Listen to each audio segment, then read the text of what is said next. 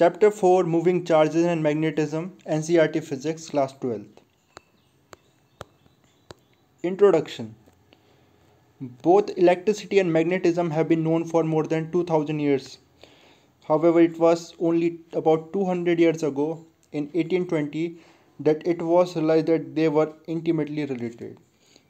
Electricity to magnetism 2000 years ago हमें हम इन field के बारे में पढ़ने लगे। हमने इनके बारे में पढ़ना स्टार्ट किया, इनके बारे में जानना स्टार्ट किया, लेकिन हम इन दोनों फ़ील्ड को सेपरेटली पढ़ते आए थे, इन पर रिसर्च करते आए थे। 1820 में सबसे पहली बार ये पता चला कि ये दोनों फ़ील्ड आपस में रिलेटेड हो सकती है।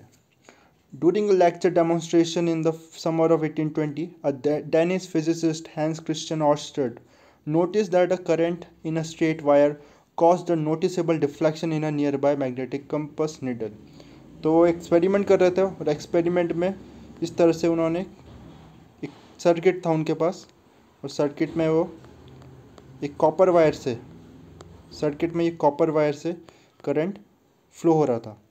और इसके एडजेसेंट एक मैग्नेटिक कंपस रखा था। जब इन्होंने इस पे, इस सर्किट से करंट फ्लो कराना स्टार्ट किया, तब इसमें एक मैग्नेटिक कंपस जो कि इसके एडजेसेंट रखा था, इस पर एक डिफ्लेक्शन नज़र आया।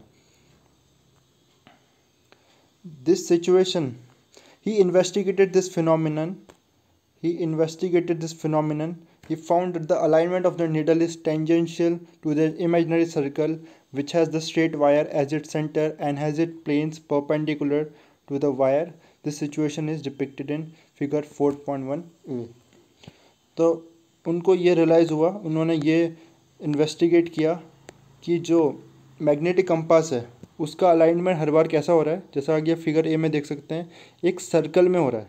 तो ये जिसका वो और वो सर्कल का जो सेंटर है, उस सेंटर से अगर हम एक ये वायर है, ये वायर उसके सेंटर में इसमें करंट फ्लो हो रहा है, उसके अराउंड एक सर्कुलर इस टेंजेंशियल वे में ये सर्कल के टेंजेंशियल वे में हमेशा जो कंपास है वो अलाइन कर रहा है अपने आप को। और जो सर्कल है, उस, उसका प्लेन इसके क्या है? परपेंडिकुलर है। जो ये वायर है, इसका जो प्लेन है, इस सर्कल के परपेंडिकुलर है। इसके बाद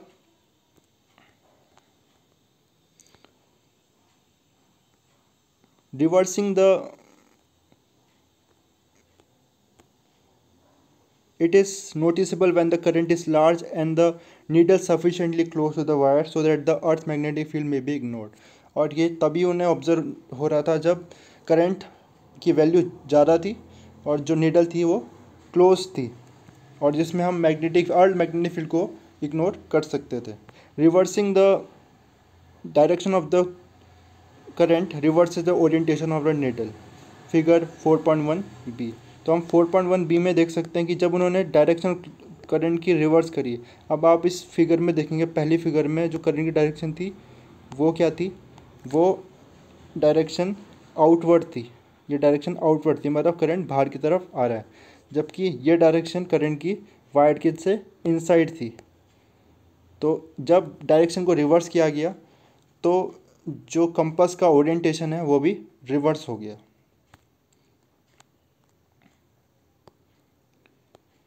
The deflection increases on increasing the current on bringing the needle closer to the wire और जब करंट की वैल्यू इंक्रीज की गई और या निडल को पास लाया गया, तब जो डिफ्लेक्शन था वो इंक्रीज हो गया।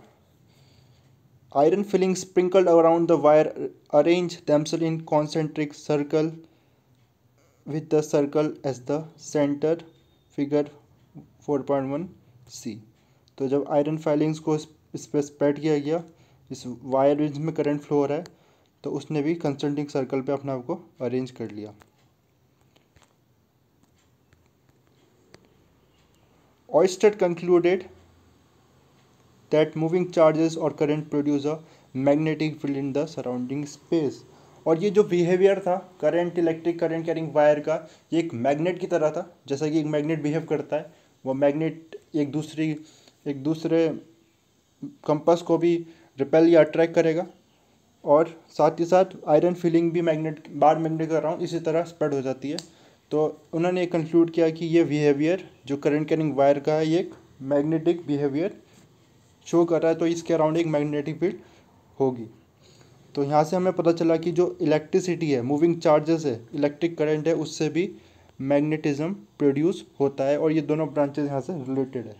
तो ये पहला एविडेंस था जब हमने देखा कि इलेक्ट्रिक इलेक्ट्रिसिटी और मैग्नेटिज्म है following this this there was intense experimentation In 1864, the laws obeyed by electricity and magnetism were unified and formulated by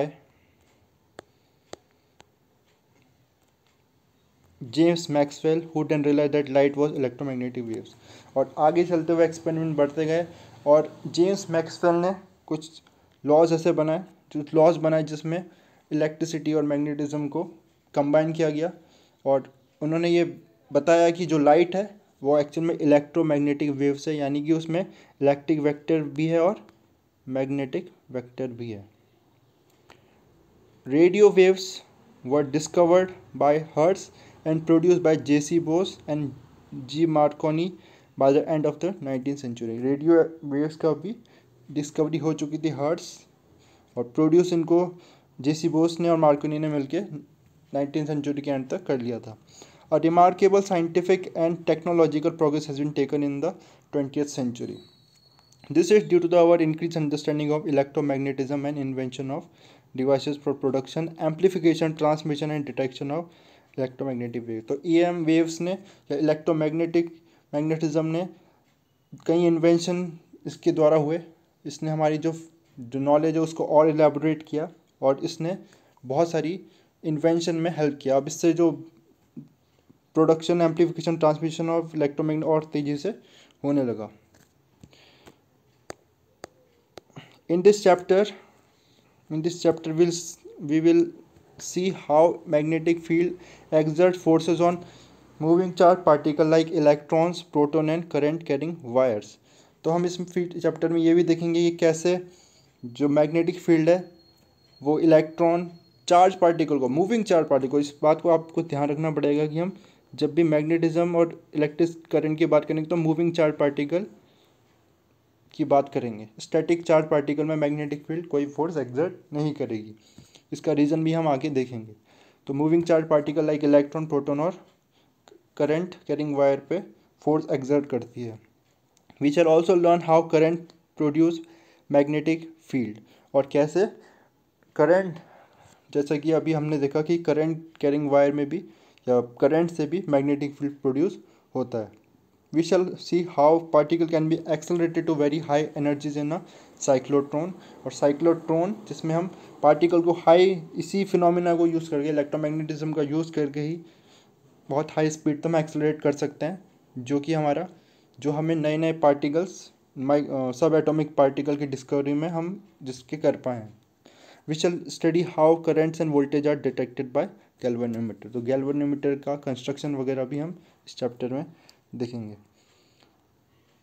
In this and subsequent chapter on magnetism we adopt the following convention a current और a field emerging out of the plane of the paper depicted by a dot.